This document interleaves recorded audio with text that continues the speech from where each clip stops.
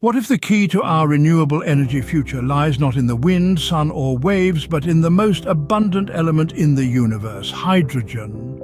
This isn't a pipe dream, but a potential reality. Hydrogen, the lightest and most abundant element, has an energy content by weight that is three times higher than petroleum. This makes it an ideal candidate for renewable energy.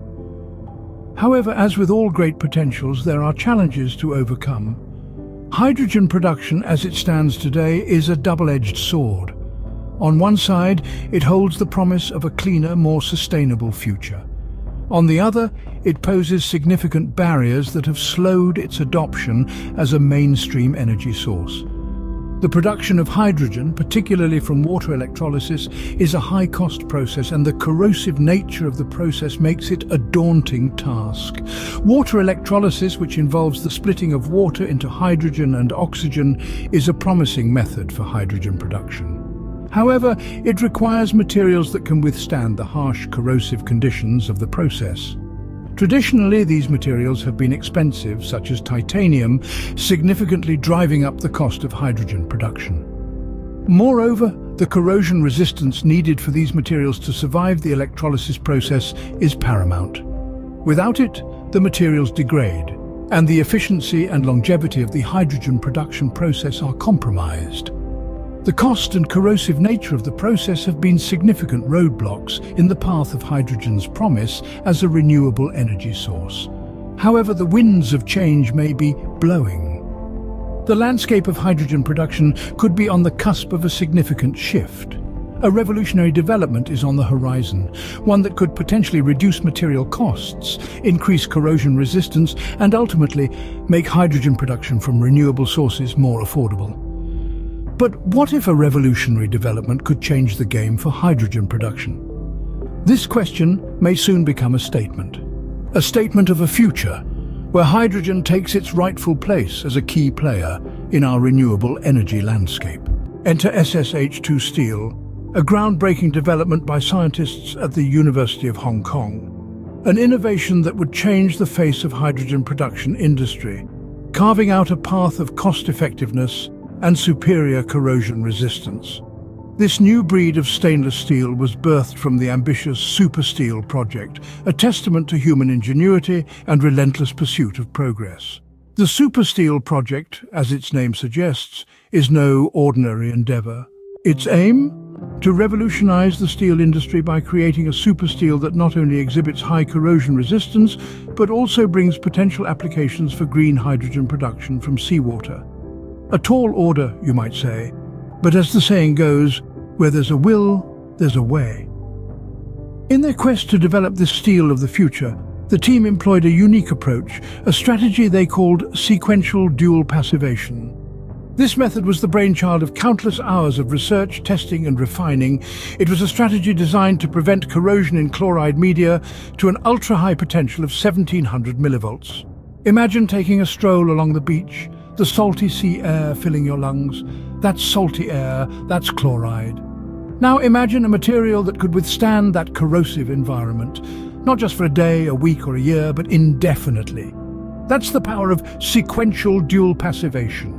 It's like a protective shield guarding the steel from the relentless attack of chloride. The development of SSH2 steel wasn't just about creating a new type of steel. It was about pushing the boundaries of what's possible about challenging the status quo and about daring to dream of a future where hydrogen production is not only sustainable but also affordable. This innovative strategy led to the creation of a steel that could withstand extremely corrosive environments, a game changer for hydrogen production. SSH2 steel is not just a scientific marvel, it's a beacon of hope for the world of renewable energy. Step into the realm of groundbreaking innovation where the University of Hong Kong has developed a stainless steel christened the SSH2 that's promising to turn the tides in hydrogen production. What makes it so special, you ask? Well, this isn't your everyday stainless steel. It's a super steel, offering superior corrosion resistance that puts it in a league of its own. Now, corrosion resistance might not sound like a big deal, but let's put it into perspective. We're talking about hydrogen production from seawater. And what do we know about seawater? It's packed with chloride, a notorious agent of corrosion. But SSH2 steel laughs in the face of chloride thanks to a unique sequential dual passivation strategy that shields it from corrosion, even at an ultra-high potential of 1,700 millivolts. But that's not all. SSH2 steel isn't just tough, it's also cost-effective. Titanium, the reigning champion in corrosion resistance, comes with a hefty price tag. But SSH2 steel offers a performance that rivals titanium at a fraction of the cost. How much of a fraction? We're talking about cutting the cost of structural material by about 40 times. That's no small change. The potential applications of SSH2 steel stretch far and wide across the landscape of renewable energy. But its true promise lies in green hydrogen production from seawater. It's not just about making hydrogen production more affordable, it's about making it more accessible, more sustainable and more efficient. The promise of SSH2 steel extends beyond the lab. It has the potential to revolutionize the industry. Imagine a world where hydrogen production is not only sustainable but also affordable. A world where one revolutionary material could drastically transform the landscape of renewable energy. That's the potential of SSH2 steel. This groundbreaking stainless steel, developed by scientists at the University of Hong Kong, is set to revolutionize hydrogen production. It's a material with a purpose, a substance that could be a game changer in the quest for sustainable energy solutions. The innovation here lies in the steel's superior corrosion resistance and cost effectiveness, especially when compared to titanium. SSH2 steel could significantly reduce material costs in water electrolyzers. The device is used to split water into hydrogen and oxygen.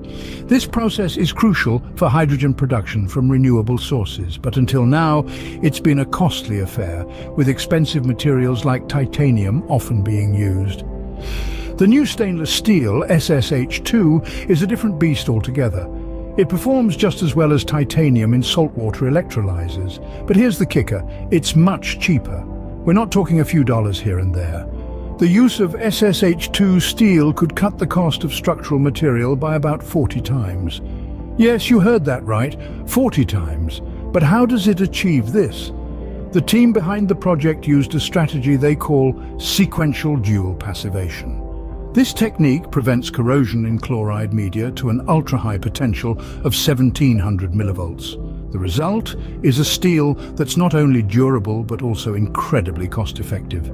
The implications of this are huge. The introduction of SSH2 steel could make hydrogen production from renewable sources more affordable. It could democratize access to renewable energy, making it a viable option for more people and businesses around the world. SSH2 steel might just be the key that unlocks the full potential of hydrogen as a renewable energy source. The journey of SSH2 steel is far from over. As we stand on the precipice of a new era in sustainable energy production, the team behind this revolutionary steel is tirelessly working towards its industrial applications. They're not just dreaming of a greener future, they're actively shaping it. The potential of SSH2 steel in hydrogen production from renewable sources is immense. It promises a cost-effective, corrosion-resistant alternative to titanium. A change that could revolutionize the industry and make green hydrogen accessible on a much larger scale. But the path to commercialization is not without its challenges. The team is currently in the process of securing patents in numerous countries, a crucial step in protecting their innovation and ensuring its widespread adoption. What we're witnessing here is more than just the birth of a new material. It's the dawn of a new chapter in our energy story,